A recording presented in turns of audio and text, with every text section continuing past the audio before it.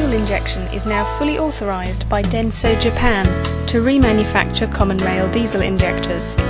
This is a welcome addition to our authorised common rail pump repair and means that we can provide even better support to our customers.